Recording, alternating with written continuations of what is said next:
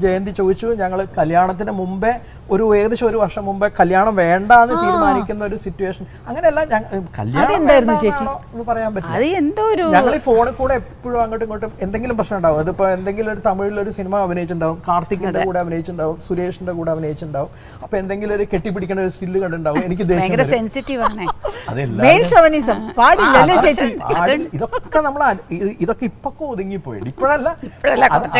ആലോചിക്കുമ്പോ ഇപ്പൊ എനിക്കതൊക്കെ വളരെ വിഡിത്തരായിട്ട് അത് സംസാരിച്ച് സംസാരിച്ച് പിന്നെ അത് തന്നെ നമ്മൾ നമ്മൾ നമ്മൾ യാതൊരു പരിപാടിയില്ല. എന്ന് പറഞ്ഞിട്ട് ഞാൻ ഒരു മാസത്തോളം ഞങ്ങൾ ഫോണും ഇല്ല ഒന്നുമില്ല. അന്ന് മൊബൈൽ ഫോൺ മൊബൈൽ ഇല്ലല്ലോ ലാൻഡ് ലൈൻ ലാൻഡ് ലൈൻ അപ്പൊ എന്റെ മുഖം മാറുമ്പോ എന്റെ അമ്മയ്ക്ക് മനസ്സിലാവും.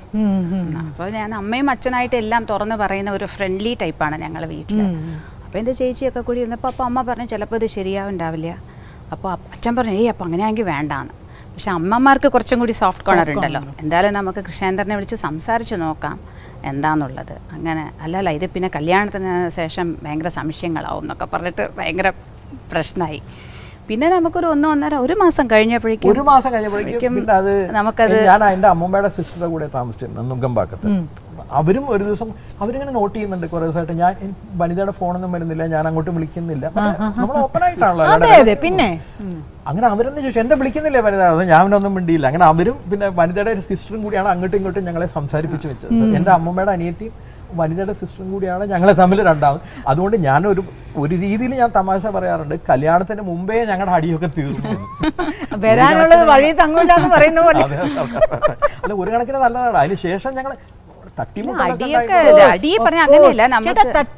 ചെറിയ വഴക്കിലല്ല കാര്യം. അതെങ്ങനെ തീർക്കുന്നു എത്രത്തോളം നന്നായി മാനേജ് ചെയ്യുന്നു എന്നുള്ളതല്ല കാര്യം.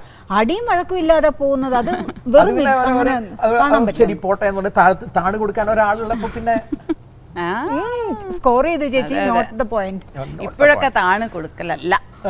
ഞാൻ? അങ്ങനെ പറയോ? അതല്ലേ പറഞ്ഞത്. കൊടുക്കാൻ പറഞ്ഞത്. വളരെ നല്ല മനുഷ്യൻ. ഒരു ശുദ്ധനായിട്ടുള്ള മഹാത്മാവ് ഇവിടെ ഉള്ളത് കൊണ്ട് ഒരു പകുതി ഭാഗം അങ്ങനെയാണ് ഒരു പകുതി ഇങ്ങനെയാണ്.